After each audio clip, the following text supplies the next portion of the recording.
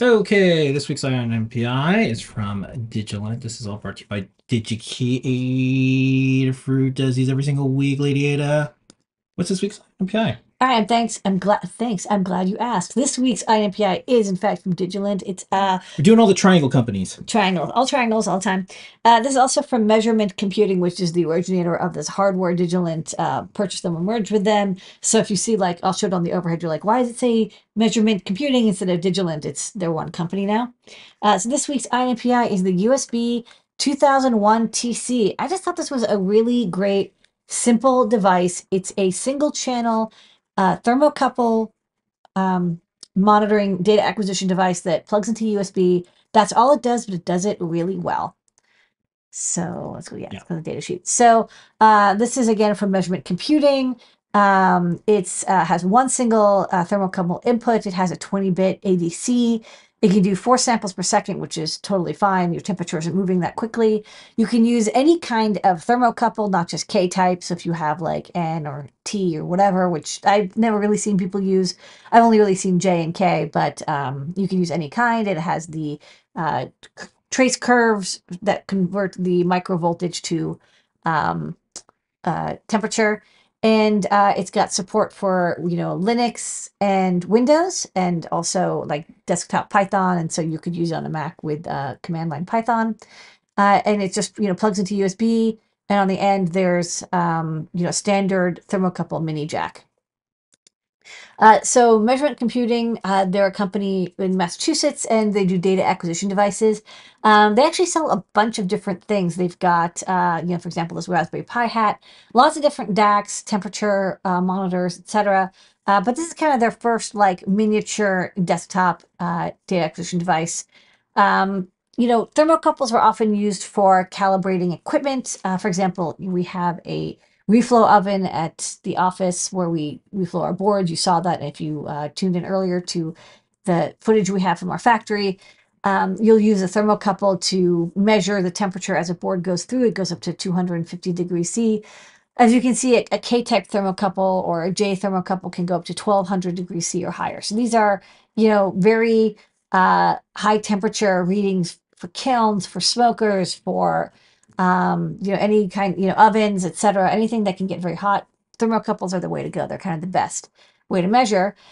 Oftentimes, you know, people would say, "Oh, you take an Arduino or something and connect, uh, you know, a an AD, you know, analog devices or Maxim." thermocouple amplifier, you read it, etc. But this is kind of nice because it's all in one. It's ready to go. It's plug and play. It has software. It's also got um, isolation. They have an ADUM um, uh, signal uh, isolator inside of it, so you do have um, an isolation between earth ground and the thermocouple, which is often like on all of our boards. We don't have, you know, you'd have to add your own isolator. So by the time you built the whole thing, it's about the same price as getting this like ready to go little DAQ board.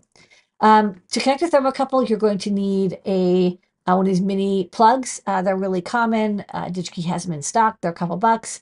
You'll get your thermocouple wire, which DigiKey also stocks. You can get them in any length, or you can make your own. And then um, you just open up the thermocouple connector and you screw in your um, cable, or you can get ready-made ones as well. And um, what's nice is also the the plus and minus. I think the width of the minus is a little bit wider, so you can't plug it in backwards. They're called mini thermocouple connectors.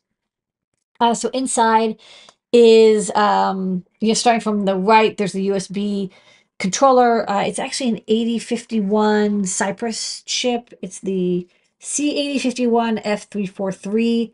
Um, you know, connected to USB through this cable.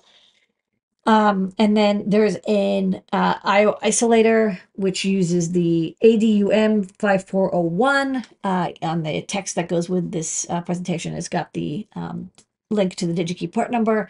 And then it goes to a 20 bit ADC. Uh, that is the AD7785. It's a nice quality analog devices um, ADC that it's got there. I got a little bit of low pass filter, just a little capacitor and a ferrite probably to keep them from having little spikes that can be picked up by the cables or the 60 hertz signal that you know is emanating all around us. Um, and then the software actually is what probably converts that ADC measurement into the temperature because you have to match it. There's a curve that goes with each thermocouple type. So that's done for you. But what's nice also is you, you could get raw data values out. So if you don't want to connect a thermocouple, you could probably just pull that raw value out uh, for a measurement measurement of you know uh, you know bridge rectifier or something. Uh, sorry, a resistive bridge sensor. Uh, this is just a photo of the board. Um, I took, I just opened it up, and uh, the USB connector is that um, white, uh, looks like a JST PH in the middle there.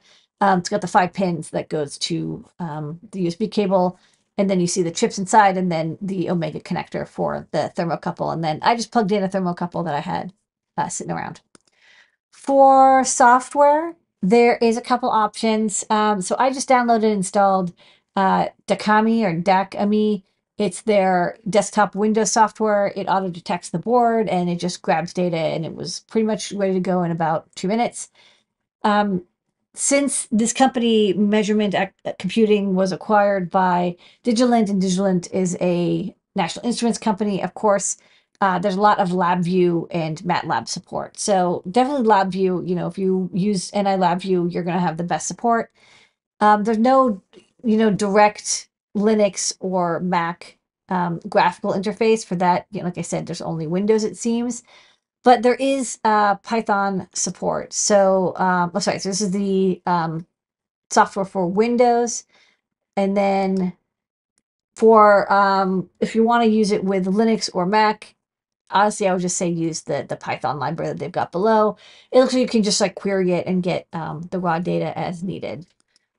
This is the um, software, you know, I just loaded it up. Like I said, it pretty much instantaneously worked. It told me a temperature. You can see I kind of heated up in my hand and then I, released it and you can see the temperature go from 33 degrees C down to 28 Seems to work fine. You can, of course, save to files, uh, change how often you want to uh, do data captures.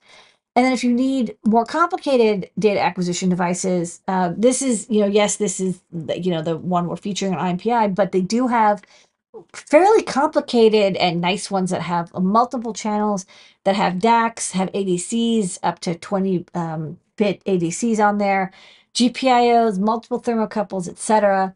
Um, in fact, when you know we ordered this and we ordered some DigiKey, um, they had a hundred in stock and they sold out since. So Whoa. yeah, Maybe- this is maybe someone knew that this was going to be Ion MPI. there's there's a little bit of a yeah. It's, this was a, a rarity. Usually, when I get something, it stays in stock until we do the video. But this time, it it, it was I The, the precogs It was in figured stock. you out. and then it got uh, sold out. But um, do sign up; they'll have more. And if not, check out the other data. This isn't a supply constraint thing where there's never going to be them No, no, for no. like three years. Don't worry about that. more. I think I'm not. I think they really just sold out much faster because this is a. It's a pretty good deal for like a ready to go isolated thermocouple amplifier. All right. And uh, that's this week's Eye on NPI. Yep. Thanks, everybody. Eye on NPI.